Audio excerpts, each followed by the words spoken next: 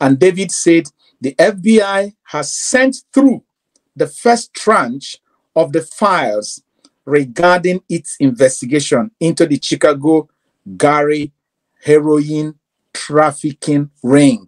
On the line, heroin trafficking ring involving Lee Andrew Edwards, Muez Akande, Abiodun Agbele, and Bola Ahmed Tinubu. All mentioned of Tinubu is redacted. That was the argument yesterday when people start saying, oh, the court has refused. No. Remember, I tried to correct it that yesterday. The court said they don't want where his name is directly mentioned. So as you're reading through that file, wherever his name is directly mentioned, it became redacted, meaning they blank it off. But that is like an expert to us. We already know what it means is wherever you see the redaction, you know the name that should be there. You can print it on your own and put the name there. After all, the Supreme Court has made somebody president. There is nobody that will go and remove the person, but the court of public opinion will remove who they will remove and put who they will put. And it is it is a challenge even to the it's, it's a concern even in the international community that this file is flying all over the world so, what is the boldness the person is going to have going to international meeting, negotiating with business bodies and co, knowing that a document that contains such incriminating facts hmm. are flying around, even though your name is redacted.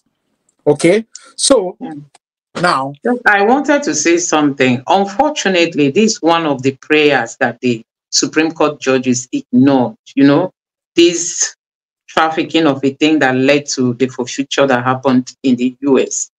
Uh, I watched Ezekwesili. She was like saying that that is even one of the painful aspects of this judgment that was released, that this prayer that is of great importance so that the world will not look at Nigeria, you know, with the other side of their eyes.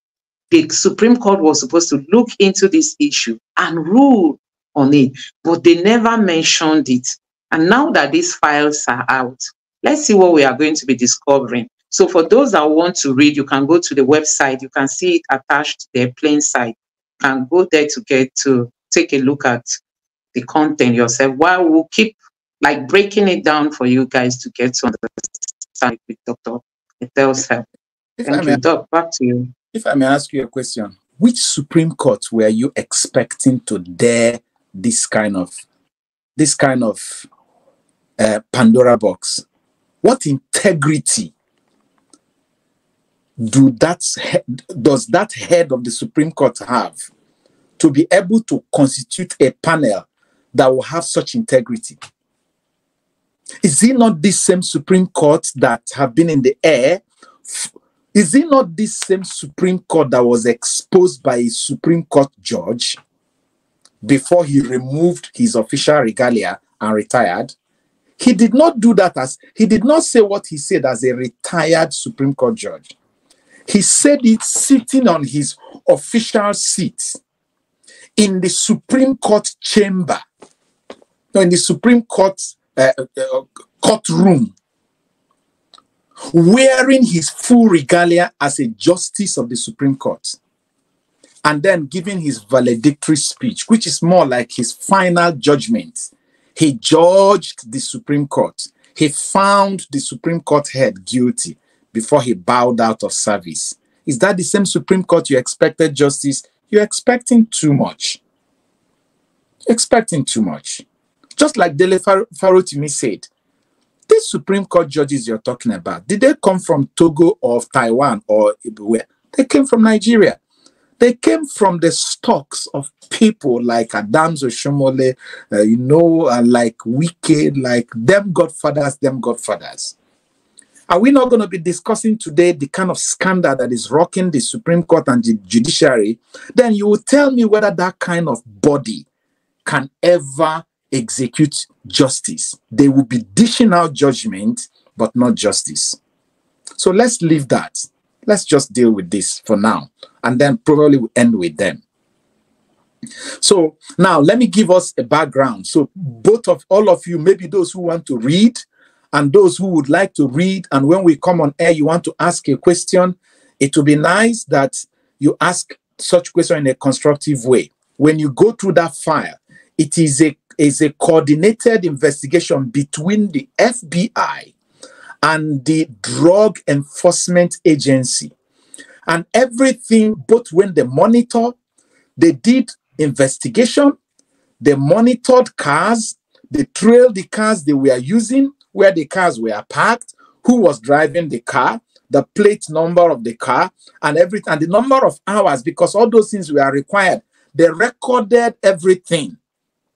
And after months of gathering all those basic data that made them believe it's not like our EFCC that will pounce on you, first of all, dump you in the prison before they start doing investigation. No, these people will let you do whatever you're doing, they will trail you, they will follow you, they will gather all the information they need to gather before they now convince themselves that they have a case against you and officially. So from the first page of this document, where where they are recording, the logging in, their investigation, their monitoring, their, their their their dashboard, you know, everything they did and how they did it, because a judge will want to be sure that you did not trample upon anybody's right simply because you want to uh, indict and convict the person. And so it took them up to page 45. It was, it was now at page 45 that they said, We have a case. And now they have the title of the case. So show me the slide of that page 45 so that our audience will understand how we arrived at that place. Okay? Page 45. Because in that place now, now this is here is it. And now you can see it says um, um, classification is now unclassified, and date was 4th uh, uh, of October 1990. FM, FBI Indiana Police, the director of FBI, FBI Chicago. Okay. Now, if you come down to the detail, it says subject Lee Andrew A.K. et al. Drug matter what? Drug matter. Request of the Bureau. It is required that dash. You can now see they redacted some names. It says details. This investigation is focusing on a drug trafficking organization based in Gary. The head of this drug trafficking organization is subject Lee Andrews Edwards investigation has revealed that Edward source of supply of multi kilograms of heroin is a group of Nigerian nationals based in Chicago, Illinois. I just wanted us to stop at this page. Now, going forward, the remaining 200 and something case pages gives the detail, what happened, how they went to court, how the court found them, the evidence they presented, how they were convicted, and the charges. It is heroin. Go back and note that it is heroin we are talking about. Heroin and cocaine are what is called class A drug. Anywhere in the world you're caught with it, you're going.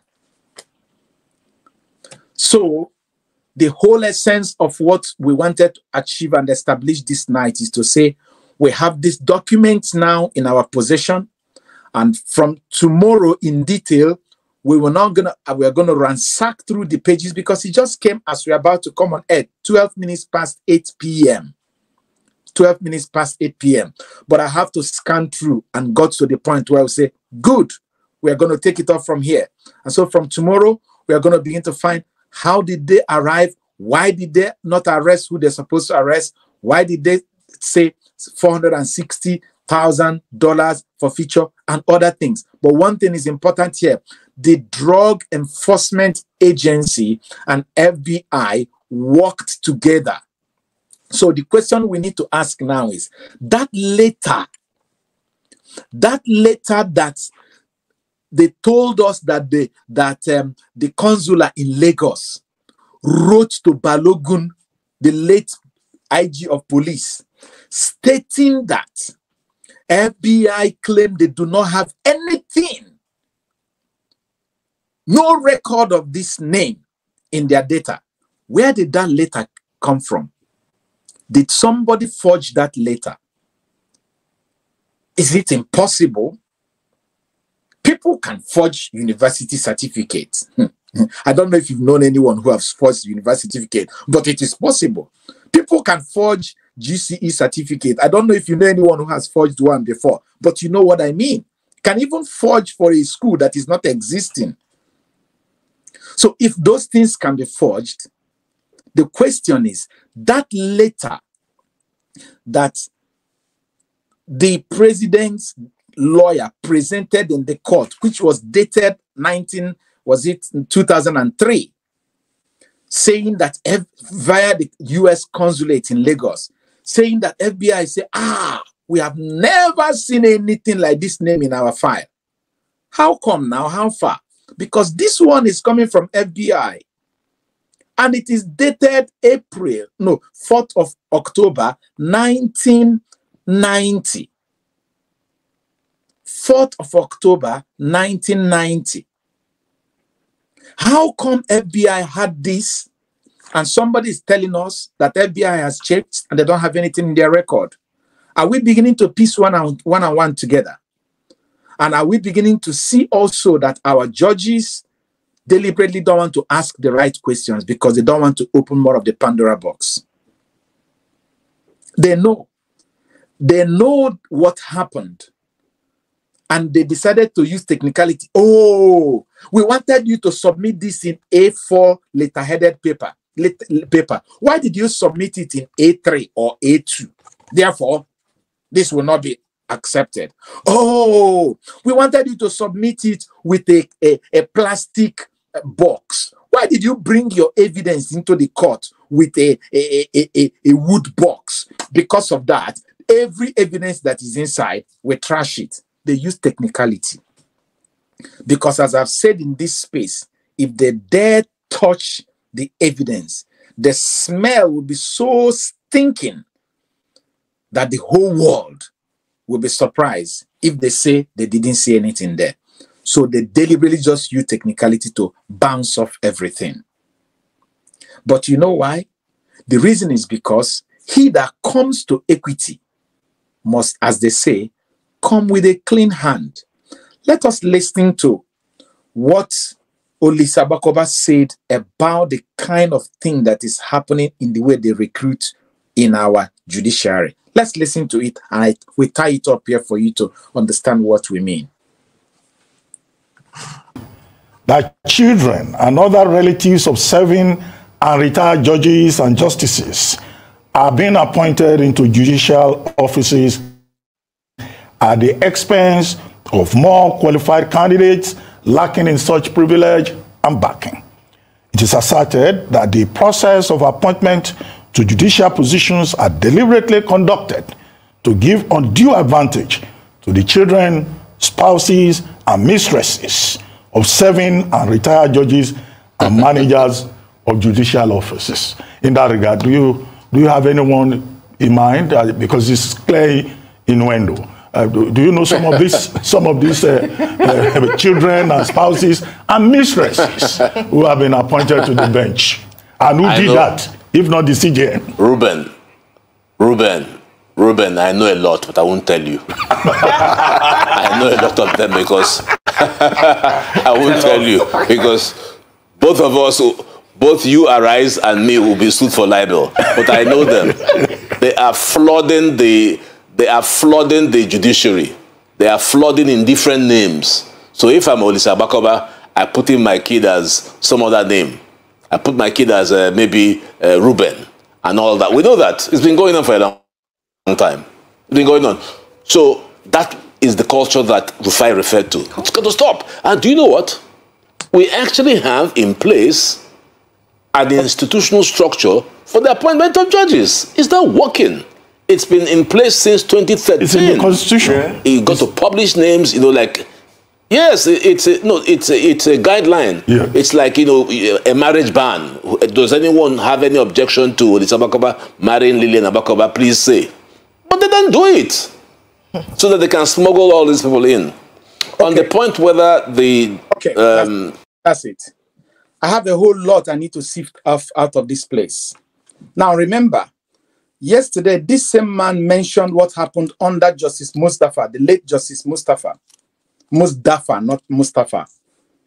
The the the cleaning up of the judiciary that was that that his his tenure as the chief justice of the federation gathered them and recommended for the government for the judiciary to implement okay that's number one secondly this guideline for the appointment of judges. You've heard him now say it was in 2013.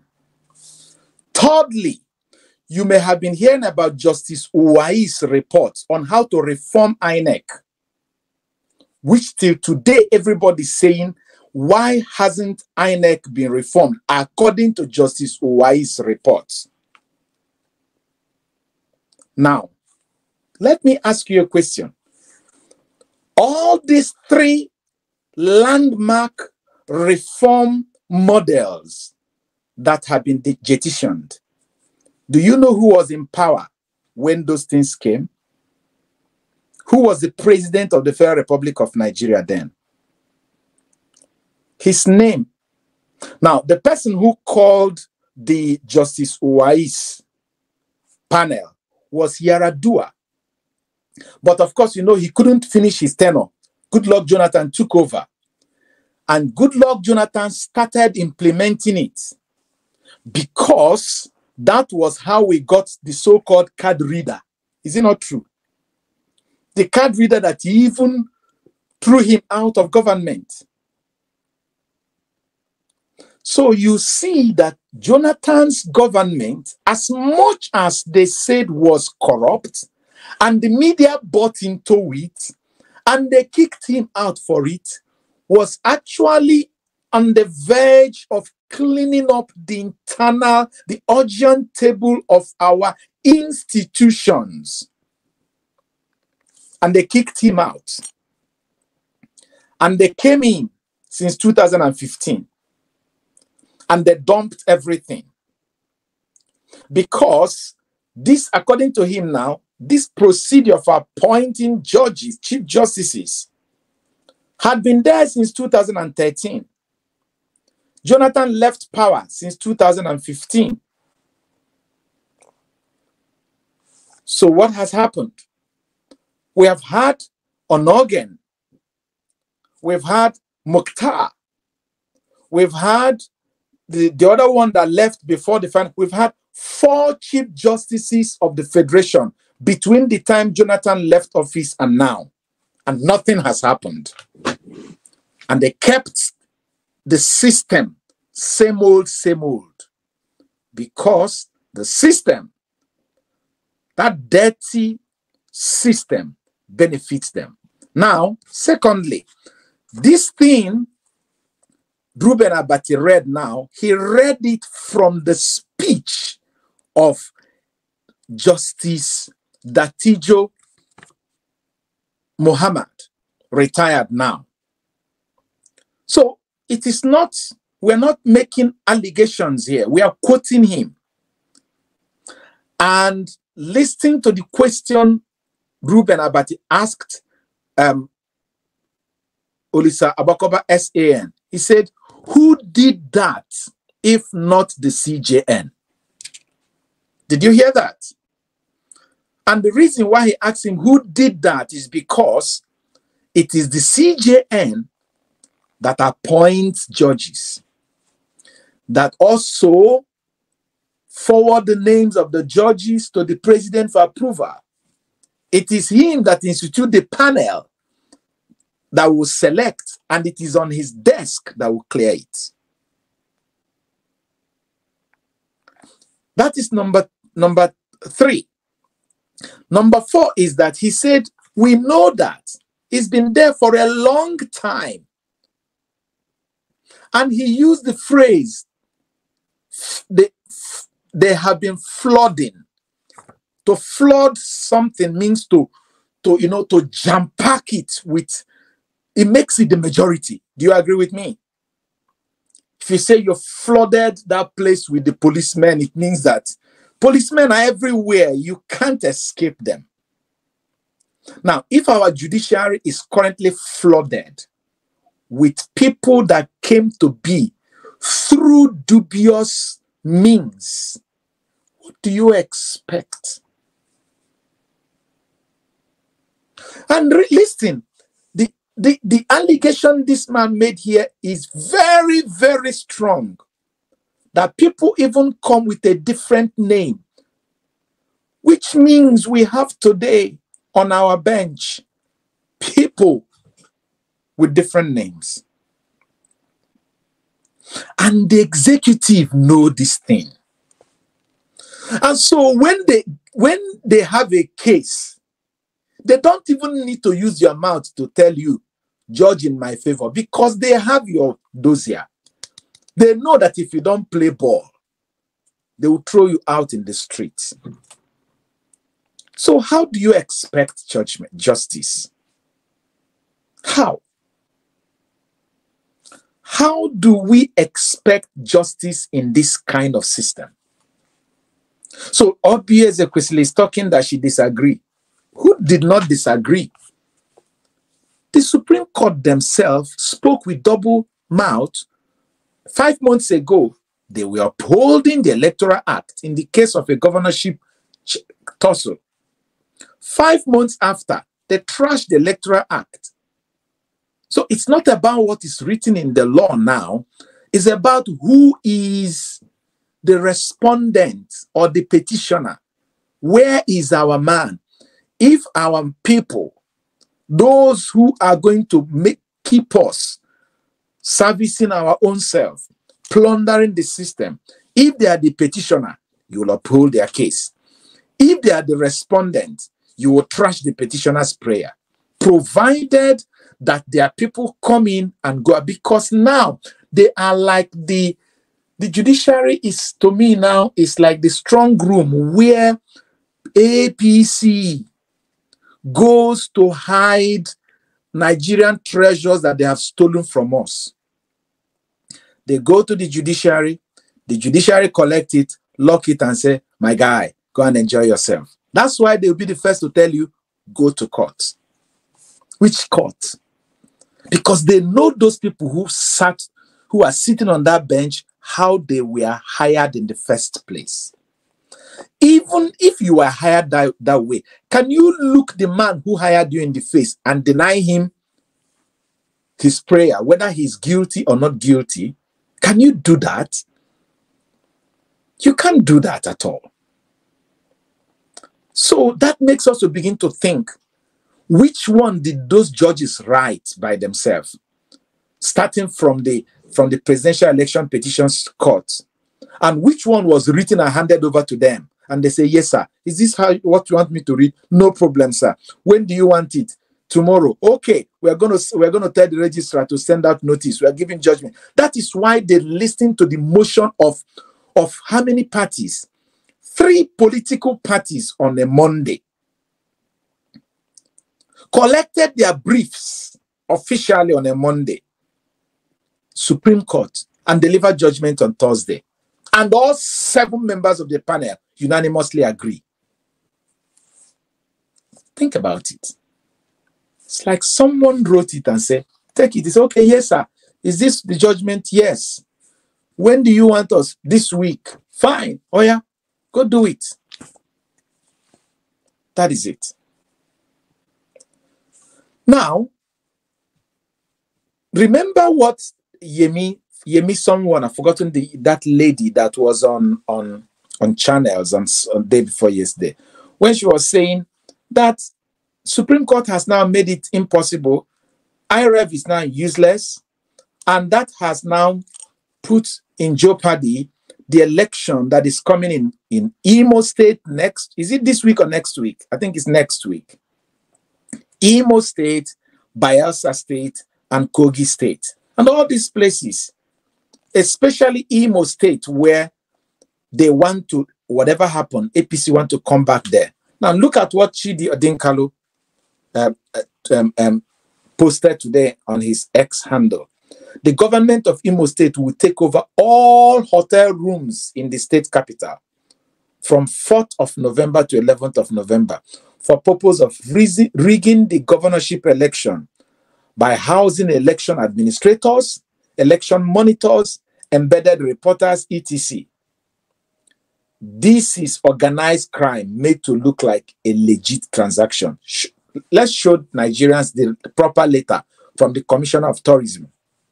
So every hotel room, every hotel room, now listen, it says, I wish to refer to above subject and inform you that the Ministry of Tourism intends to rent and occupy all the rooms in your hotel, no matter the size and classification, from Saturday, 4th November to Saturday, 12th November, at your usual cost per room for full occupation. I therefore request you to submit to my office before 12 noon tomorrow, being 26th October, details of your accommodation bills for all the rooms highlighted covering the period for settlement. Your urgent cooperation will be appreciated. Now, it means even other political parties that will be having their own monitors, having their own team, they shut them out. Hmm. Oh my God. And you know the funny thing? I was in a group and I was telling I was telling them, I said for Imo State election, you have to make sure that all the polling unit agents, that there are at least three. One whose signature will be required. One who will be on camera constantly until the election is completed and another one who will be monitoring the two, and that all three of them must must before the election make commitments that they will appear before election petition tribunals. Because of this one, court is telling us that um, IREV doesn't matter. Where is the EC8A? But even at that, the courts is for the highest bidder. And you see, what the Supreme Court has done is to remind the likes of the governor of Imo State that listen, listen, as it was before, so it is. Because the Supreme Court judgment that told the world in their own judgment that APC did not participate in 2019 election is still there pending. Yet APC is ruling. The judgment of the Supreme Court says there was no candidate by APC, yet APC is ruling. And they promise us they will revisit it before this election. After three and a half years, they have shifted it indefinitely. The CJN is a human being, you know that. And what the question is, what was the price the price the CJN may have paid to compromise our system is the blessing of making his son a judge. So it's about them, them, about him, his family, just as was said there. It says, at the expense of the qualified, the people who are flooded in the judiciary these days at the bench are people who are not even qualified at the expense of the qualified. And they deliberately give undue advantage to spouses, relations, children, and mistresses. That's our judiciary. I think, I don't know if we have anything, but I think I would really like us to leave it, keep it short this way so we can have time to get ready for the FBI assignment that we need to start working. Everybody's going back to library to read now. Yes, uh, honestly, I want to just say that uh, this party, APC, like people will say, may Nigeria never happen to you. I just want to say, may APC never happen to Nigeria. I don't know where this party came out from. You know, they don't have any interest of the people at heart. They do things just to please themselves. They don't even want to like look at the, the, the consequences of their actions. You can imagine the governor booking all the hotels just for the APC and people that will be coming into the state to help them in this election. Let me not even call it that. I don't know if I will say in this election rigging, because we've known the, the governor of uh, Imo State, you know, every anytime there is an election in that state, there's always an exposition on how they are trying to add more voters' names, people that are dead, children, and all that. We've seen it even in so many times where each time there is an election in that state, there will be so many revelation as to what is going on, even in his own local government, where they don't even have so much a population. You end up seeing the names of people, the number of names exceeding the number of the, the actual population on ground. So we've always seen his name appear in matters like that. And you can see the extra step they are taking now to book all the hotels at the expense of who? The people of Imo. You need to go to Imo State to see the roads. You know, I was talking to somebody who schools in Futo. He told me to come out from Futo to the state, to the city, that is not even that uh, a, a very long distance. You need to see how much they have to pay because of the bad road, how rough, how terrible the roads are. Now, these people, they get all this security vote money, they get all the money that is allocated to them every month. They can't even use it to service, to give the people these basic uh, services that people are asking for.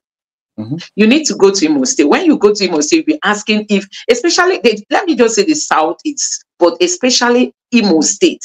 Imo State. And some people will tell you it's unknown gunmen, is this, is that. See, the Nnamdi Kanu who is fighting for Biafra, it's not even from Imo State.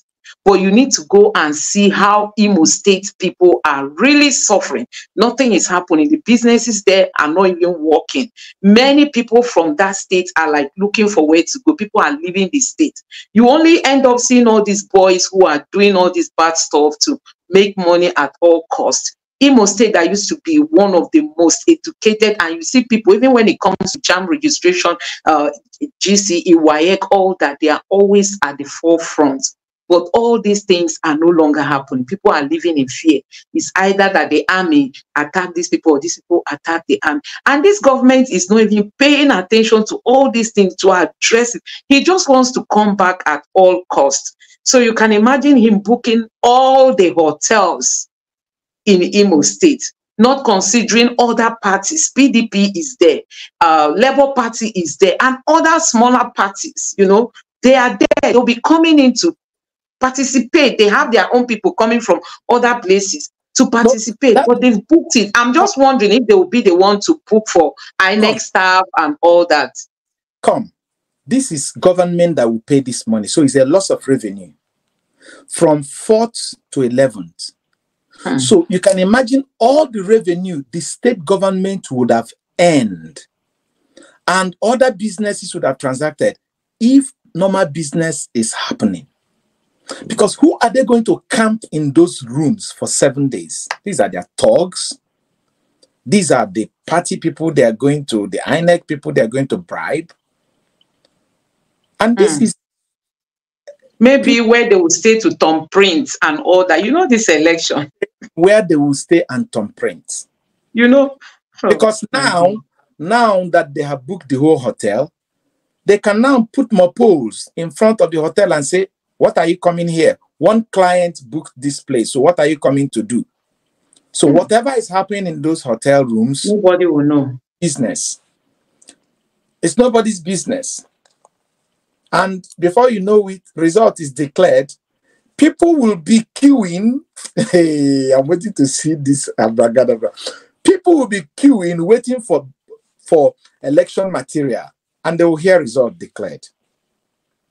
And they will tell you go to court. And if I come and say election was held, the court will uphold it because INEC is the angel that will never lie and can never make mistake. It's sorted. Okay. we are really in a big mess with this party, APC. I, I just pray that. Uh, in a big trouble. Seriously. Yes. So, guys, yeah, that's where we'll be ending it tonight. Yeah, we'll just pray that the election in Imo State will, will take a good shape and let INEC do its job. They shouldn't go there and become partisan because uh, with the ruling that the Supreme Court gave us, you can see that, you know, this election violence is going to, is something that is not going to stop anytime soon because this technology was meant to reduce all those incidences. But from the look of things, they've told us that the IREV does not matter in deciding who won the election. It doesn't have any place, you know, in taking decision, declaring who came out as the winner of an election. So that will make it easy for them to Tipp-Ex, cancel, rewrite, and all that because you can no longer depend on what is on the IREV because that, that was just where the confusion, you know, came from. They made it in a way that Obidients so much believed INEC. And Peter Obi is somebody that wants to believe the authority. Anything they say, he wants to embrace it and encourage his followers to equally believe whatever information that they are giving out to us. So that was how we believed INEC. We believed everything INEC told us. But we saw what happened. And the Supreme Court has come to say, yes, INEC has the right to take any decision. You know, the decision they gave us, they abandoned it, but the Supreme Court has approved it that they did their job well. So we don't have any other option. I just prayed. I don't even know how this Nigeria is going to like get better if this electoral system is not being, you know, if we, if we don't get it right, and if the Supreme Court, the judiciary is not ready to help us get it right, I just wonder how Nigeria will regain its, as in its uh, supposed state in the in out there so that the world will know that we also have a country. Because as it stands now we don't really have a country. Now we have a president that is said to have forged his certificate and the supreme court still gave him that pass mark. Somebody that has drug related issue. It wasn't mentioned during the final judgment. And now behold the fbi has re started releasing the files they promised the people. Somebody was saying if this was to be in nigeria that people went to court with FBI, it wouldn't have happened that these files would be released. So we really have issues when it comes to our institutions, building strong institutions that we can rely on, like our judiciary. Look at the INEC. INEC is supposed to be an independent body, but you can imagine the level of influence that you know INEC that is being that INEC is experiencing because the politicians won't allow them to do their job and they cannot say no because it is those politicians who still that will still give them the, the position in INEC. So they cannot like rebel against their master. That's just what we are suffering from. So we look forward to a better Nigeria. So, Doc, I don't know what your closing thoughts are, but we can call it a day at this point. We look forward to miraculous intervention in Nigeria. Thank you. Good night, all. Good night. So thank you so much. So yeah. our viewers, thank you. And from tomorrow, we'll keep bringing you updates uh, on this FBI topic so that we'll get to know what the files contain. And uh, yeah, like we've always said, it's good to make everything bare. Possibly there is nothing indicting. Possibly the the the president does not even have to bother himself, you know, so it's good that they've released the files as promised. And they told us every month they'll be releasing five 500 pages. So we look forward to getting all of them and then going through them to tell you guys what and what they contain. But if you want to read it on your own, this is the website, PlainSite. You can go there and maybe glance through the contents of the pages. Thank you so much for tonight's live show. Please do well to join us tomorrow. Don't forget to like this video so that YouTube can recommend it for more people to watch subscribe to the channel and turn on the notification bell for more updates. Thank you and God bless you. Good night.